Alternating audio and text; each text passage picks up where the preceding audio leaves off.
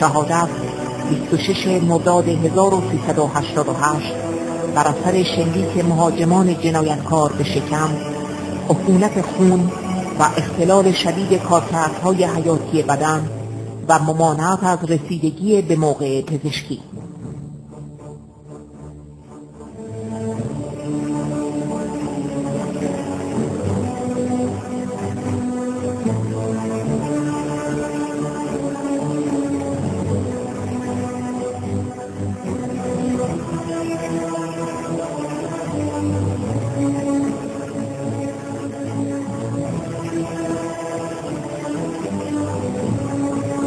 یادش را با کلمات اطراگینش خطاب به عشق دیرینش مفعود به پایان می‌بریم.